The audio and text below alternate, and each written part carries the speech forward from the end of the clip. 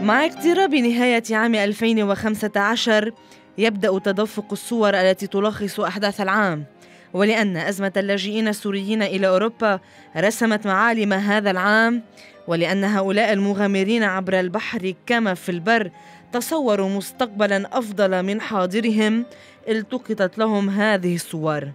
فمعاناة العبور بحرا من تركيا إلى اليونان كانت لها حصة الأسد من توصيف الأزمة فهذه الصورة للاجئ سوري يمسك طفلا وهو يحاول الوصول به إلى البر على مسافة 100 متر من جزيرة ليسبوس اليونانية.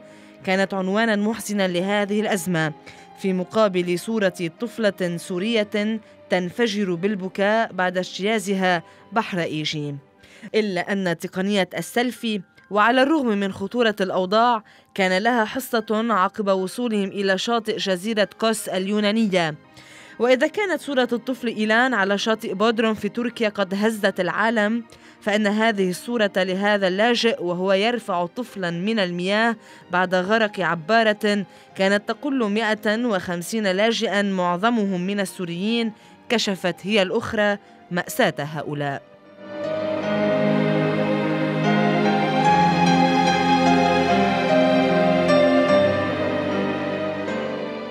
الطفولة في هذه الأزمة صورت أيضا عبر هذه اللقطة لطفلة تحمل دميتها بمرافقة عائلتها وتلحق بمجموعة من اللاجئين الذين يحاولون اجتياز الحدود المقدونية.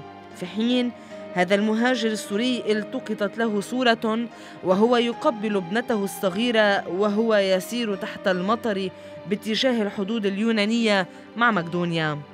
بعد مقدونيا وصربيا كانت هنغاريا محطة أخرى لمعاناة اللاجئين.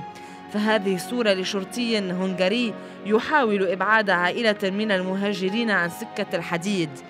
وفي الختام صورة عدها البعض توصيفا لحالة اللاجئين عموما.